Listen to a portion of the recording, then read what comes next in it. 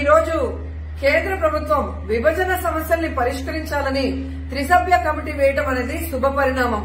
అందులో ప్రత్యేక హోదా అంశాన్ని చేర్చడం అనేది నిజంగా జగన్మోహన్ రెడ్డి గారు సాధించిన గొప్ప విజయం అని కూడా మేము అనుకుంటున్నాం.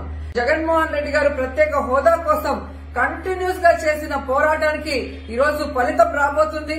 ప్రజలందరూ కూడా ప్రత్యేక హోదా వచ్చి మనం అందరం కూడా అభివృద్ధి వైపుకు పరుగులు తీసే రోజులు తొందరలో ఉన్నాయని కూడా మరి సంతోషంగా తెలియజేసుకుంటున్నాం. ఈరోజు కేంద్ర హోంశాఖ ద్వారా ఏర్పాటైనటువంటి ఒక కమిటీ ఆధ్వర్యంలో రెండు రాష్ట్రాల తెలుగు రాష్ట్రాల ప్రతినిధుల అధికారుల సమక్షంలో విభజన సమస్యలపై చర్చ జరుగుతుంది అని చెప్పి మీడియాలో సమాచారం వచ్చాక ఆ పూర్తి సమాచారంతో అందులో కొన్ని అంశాలు ప్రత్యేక హోదాపై కూడా చర్చ ఉంటుంది.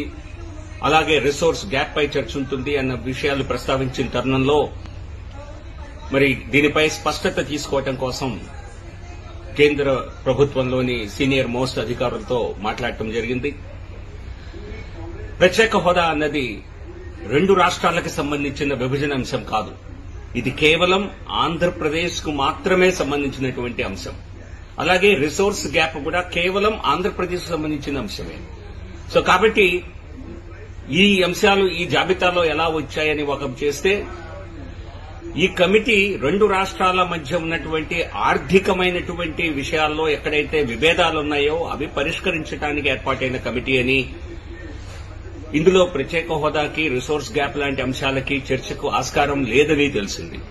సో కాబట్టి దానిపై స్పష్టత ఇవ్వటం కోసం మేము ముందుకు వస్తున్నాను.